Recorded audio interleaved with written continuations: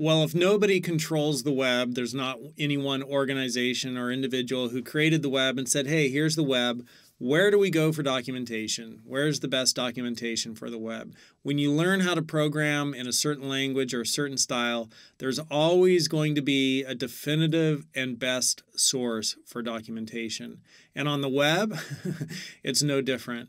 And that definitive and best source for documentation is the Mozilla Developer Network. Mozilla Developers Network. So when you're searching for something on the web, often you just go straight to Google and you type MDN and then article, right? Or MDN section or MDN Flexbox.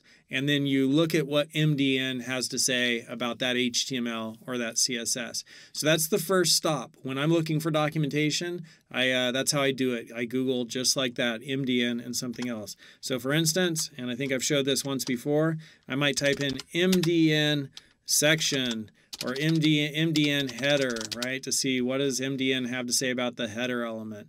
Uh, and that's how I do it. So that's the first place you go for documentation is MDN. The next place, which isn't really a place I go to at all, but it looks promising and it might become something in the future, and I just want to put it on your radar, is webplatform.org. So webplatform.org is a collaboration of many people from the W3C who they put together the web web standards, right? And they're the stewards.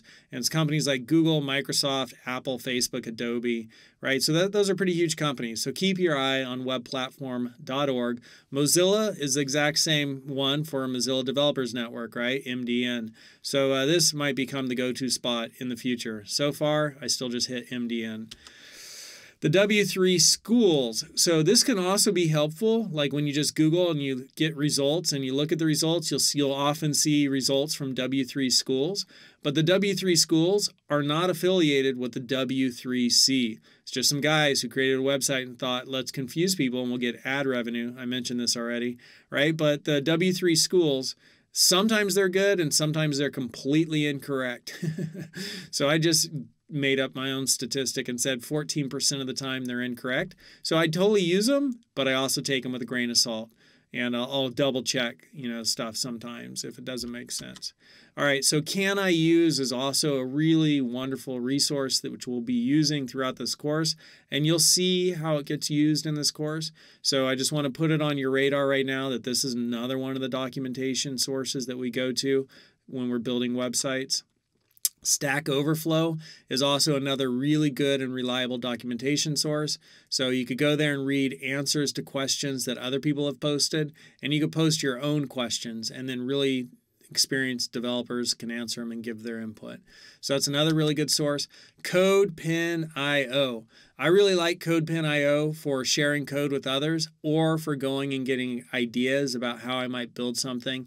You might go to CodePen.io. You already saw me using it a little bit. You might go to CodePen.io and search for Misty Background Experiment because that's a really cool page with just HTML and CSS and you could see some of it right there. But I really uh, like that for getting ideas.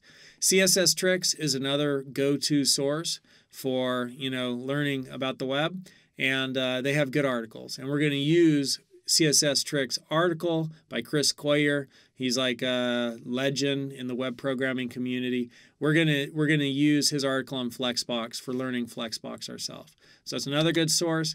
And then the Web Ahead. I've already pointed this out in the resources, but the Web Ahead is a great podcast for uh, continuing to stay current with the web and hear other people's thoughts who are developers for creating websites and building websites. The Web Ahead's a great resource. So the main thing we go to for documentation is MDN, right? That's the main one that we do. And uh, and then we just put in whatever we're googling. And uh, and then these other ones are also useful in slightly different ways. Caniuse.com is also super useful. So um, that's a little bit about web documentation